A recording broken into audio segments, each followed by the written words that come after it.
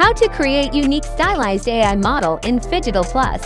Now you will learn how artificial intelligence helps to create new game resources in your unique style. Let's take the Sims game as an example.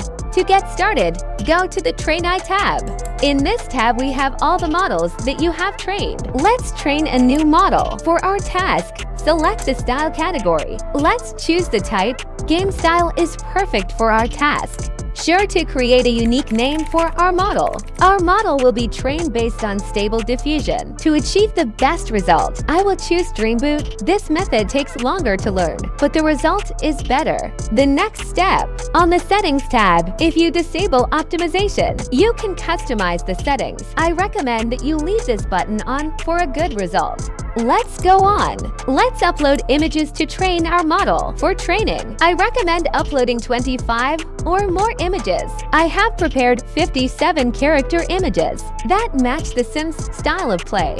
And finally, press the Start Training button. As soon as the model is trained, an email will be sent to the mail or we can look at our Train AI tab with our models.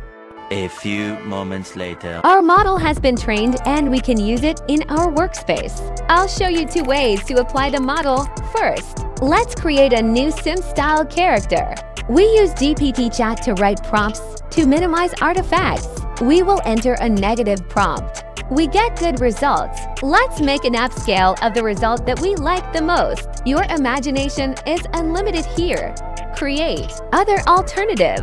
Let's make a Sims character out of a Hollywood star. Adding an image to the workspace, we attach it to the node with our model. We write prompta, waiting, upscale image. We get our character. You can use the model to change the style for a given image in your unique style. Thanks for watching. See you at Phygital Plus.